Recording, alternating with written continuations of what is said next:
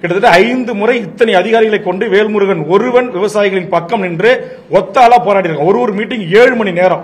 பன்னெண்டு மணி நேரம்லாம் மீட்டிங் நடத்திருக்கிறார் ஏங்க கூட்டணியில ஏங்க பேசுற ஒரு அர்த்தம் இருக்கணும். அந்த விகண்டாவாதத்துக்கு பரபரப்பு கேள்வி கேட்க கூடாது வலியோட நின்று வேதனையோட கொட்டி தீர்த்திருக்கிறார்.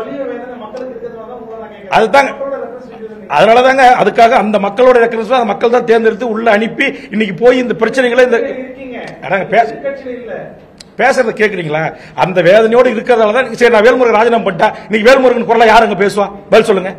நீங்க வந்து அங்க எம்எல்ஏ பேசுவீங்களா? கேட்கறது பதில் சொல்லுங்க. பேசுறத சொல்லுங்க. பேசிக்கிட்டு இருக்கிற. இன்னைக்கு எம்எல்ஏ ஆவணதான் உள்ள போய் இன்னைக்கு சீஃப் செக்ரட்டரி தலைமையில் மூணு கூட்டம் போட்ட முடியுது. இன்னைக்கு நிலத்துக்கு கொடுத்தவர்களுக்கு நிரந்தர வேலைன்ற ஒப்பந்தத்தை ஏற்படுத்த முடியுது.